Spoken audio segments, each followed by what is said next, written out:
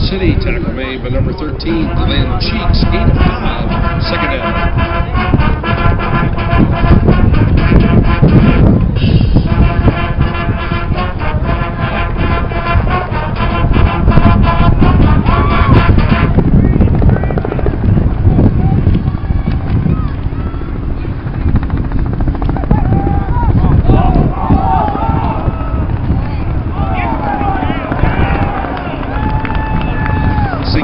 Pass intended for number 10, Irvin Swonger. Flag on the play.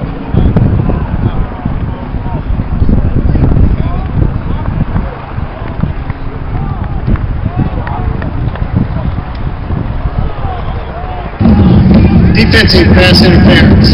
15-yard penalty, previous spot. First down.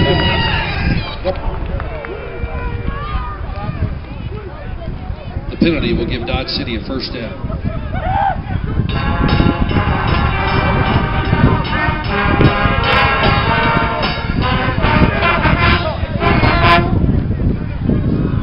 DC-3 helicopter is just outside the building.